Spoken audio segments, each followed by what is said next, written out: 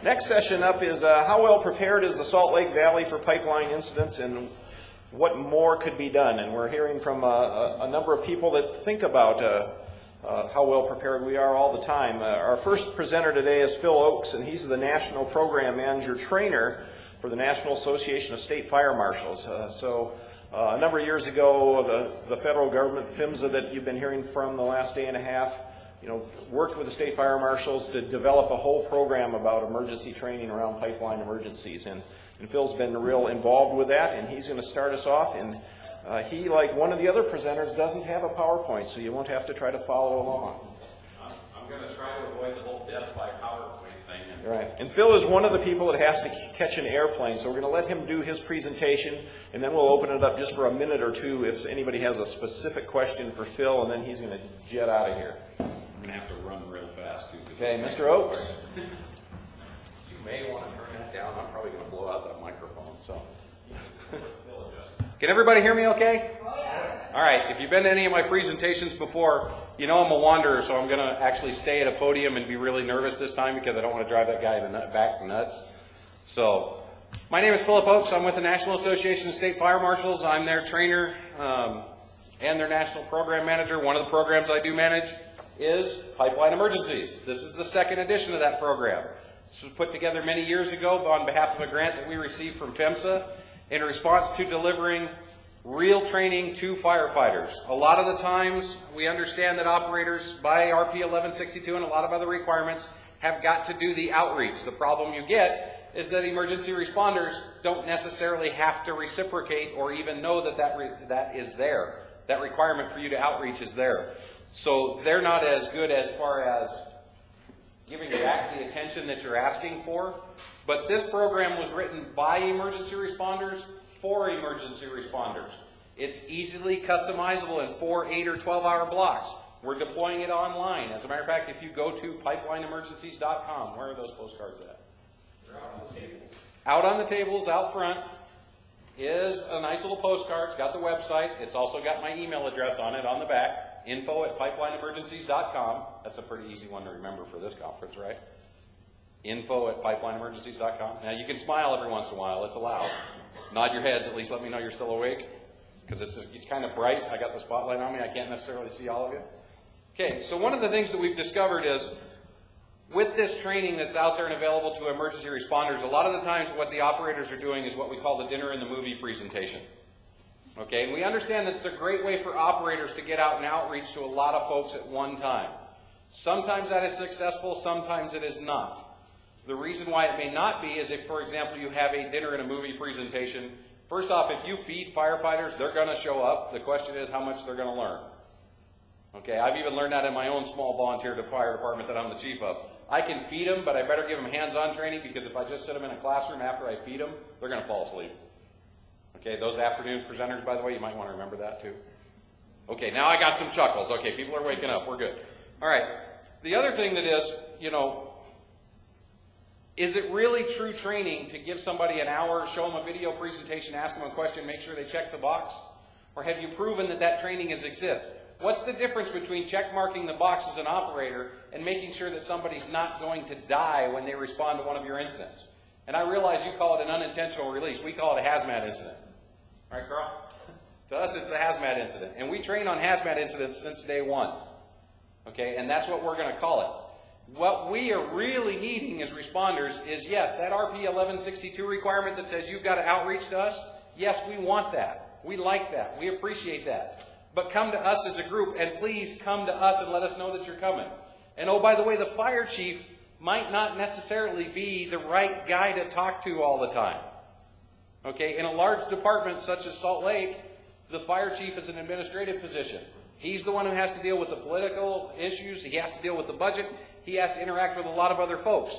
The person who's going to be the boots on the ground that you want to train and you want to talk to, who you're going to meet when one of these things occur, is sitting right over there. Right? Or probably your engine company officer, if I'm guessing. but you're going to see him eventually. So, first off, yeah, meet with the fire chief, tell him who you are, but try to get to that right person. Okay? And deliver that message. And again, if you want to get some more in depth training, this program is available online, courtesy of PHMSA, free of charge. Okay, that's one of the things they told us. Deploy it online. It is. The book is online. The videos are online. The instructor's presentation is online. All free. Go view it as much as you want to. Okay? Not a problem there at all. Also, with that, as far as training responders, I want to make sure that I've got, a, I've got the few points down. Carl, one of the things that you wanted to talk about was making sure that, again, that they all came to you, preferably at one time, with a common message. Okay, and you train on hazmat incidents as Recruit Academy, Recruit Academy and ongoing operational training. and your technicians undergo how many hours of training? 240 hours for hazmat technician. And how much of that is pipeline? And how much would it be nice if the, if your operators could call you and say, hey, can we get a couple hours during your tech courses? Well received. There you go. Golden opportunity for those of you in the Salt Lake area when they're doing hazmat tech class. Those are the folks who are going to be on scene telling everybody pretty much how to operate. Okay? Excellent opportunity for you guys to do outreach. Any questions? I really like the interactivity here. Come on now. I'm the guy who's got to catch an airplane, but I'm not in that big of a hurry. I'm just trying to catch you up in terms of time. But please, if you've got questions for me, I've thrown out an awful lot of ideas. Another thing that you can do, by the way, to help responders, and we mentioned this down at the CGA meeting last month, is you guys are required, the operators are required to give an emergency response guidebook to fire departments and emergency response personnel around your jurisdiction. Am I right? How thick is that manual? Anybody? Don't be afraid. Come on. I see somebody in the back talking about one. Come on. How thick is that manual? 20 pages. 20 pages. Okay, 20 pages. That's that's better than average. Normally they're about 80 to 200. Okay, and I'm going to tell you, as the guy sitting in the right front or right front seat of that fire engine rolling up on your call, I'm not going to have time to run through 200 or, or 80 or 20 or 40 pages. What I'm going to want is a two-page, really quick guide that tells me this is what I'm worried about. Okay, or a PDF version of that that I can put. You guys got computers in the front of your rigs, Carl? Yes, we do. that I can put in that computer that I can call up. That's a quick response guide for me. That's a pre-plan. Firefighters, fire departments, agencies around the country know how to use pre-plans. We do it all the time. You can pre-plan an incident response to a pipeline in your area. And if one of the things you want as an operator is for us to call you, the very first thing that better be listed on that is a nice big in about 24 point font, maybe 46 for those of us that are getting a little older. Point font, the number you want us to call. Okay? And even better than that, there better be a human being on the end of that line when I call. Because I don't want to call and I don't want to hit a machine. That's the last thing you want to see at 2 in the morning, right? I keep picking on him, but he understands. He's a fire guy. so those quick response plans, if you can do that and laminate it and hand us to us, awesome. I understand you still got to give me that 200 page manual. And you know who's going to get that? That hazmat tech in about hour two or hour three of the incident when he gets on scene. Okay? He's going to be the one who's going to be looking through that. If he hasn't already, chances are he has. That's the reference material. Me, I'm going to fall back on my basics immediately. And in Las Vegas, we called that SIN. Okay, you've all heard of Las Vegas and SIN. I apologize, but it's an acronym we remember in hazmat awareness. It's safety, isolate, and notify. It's the same three things that you people want. You want safety. You want us to isolate the scene and keep people away from it. We can do that. That's what we're trained to do from day one. And you want notification. That's our acronym. We know it. You know it. We need to talk the same language and get together here. Any other follow? Any other follow-up questions, or any follow-up questions to begin with? Carl. Do you guys uh, still go to communities and do this training, or do you s- expect people to do it themselves online? One of the things that PHMSA did, um, because of certain budget cuts that they were under at the time, and I don't know if they're still under it, but we deployed it online so that people could get it online. If you want us to come to your department, we are still more than willing to do that. As a matter of fact, I've got three or four of those sessions set up here in the next few weeks. But there is a cost. We've got to cover our basic cost for me to go do that. Okay, so you've got to cover my airfare, meals, time, that sort of thing to go and do that. But yes, we do still do that. It used to be for free. First edition, one of the things that we did is first edition was totally free. You got all the books, all the material, and we came and did it to you for free because that was the grant that we received from PHMSA. Now there was some federal budget cuts, so our budget got cut, and the best thing we could do was get it out in an online environment for free. Hopefully that changes in the future, but for now, that's the situation that we're living in. And we have talked to Carl, and we are doing some outreach. Phil, can your office put the regulators and the operators in touch with the specific state fire marshal's office? Absolutely.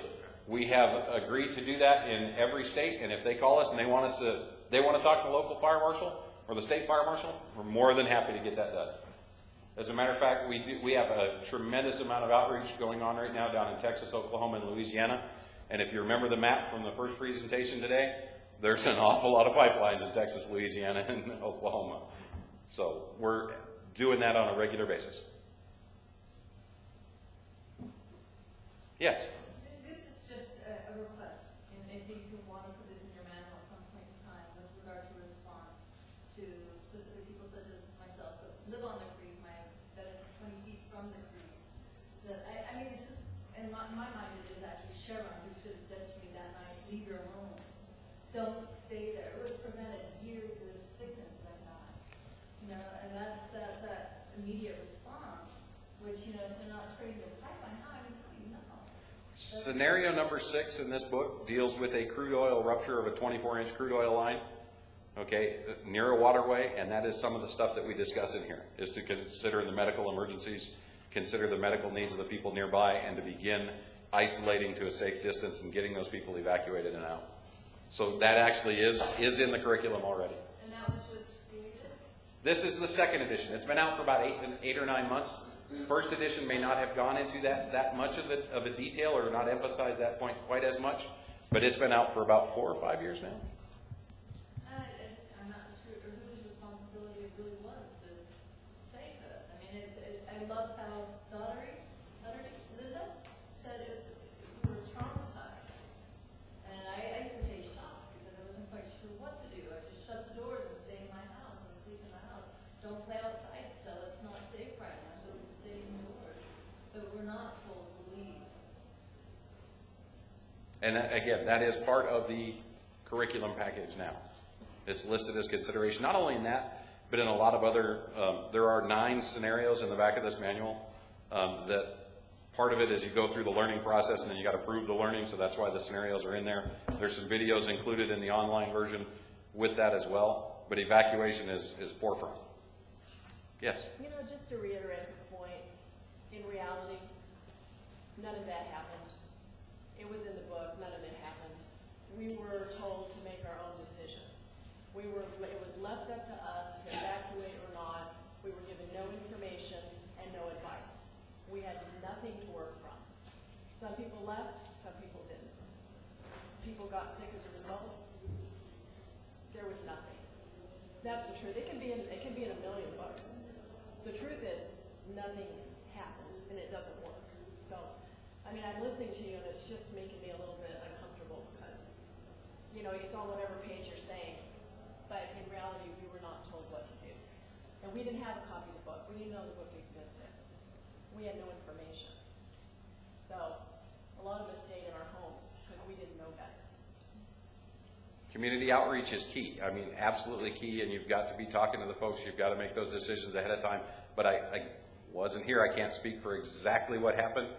Um, I do know that in my jurisdiction, we've got a 42-inch natural gas pipeline running through that, and the first thing we're- telling our folks is isolate, get those people away, get everybody away, back them up, you know, and we're talking miles, which in Wyoming it isn't hard because there's usually more cows than people around. That's a joke, by the way. You can chuckle a little bit.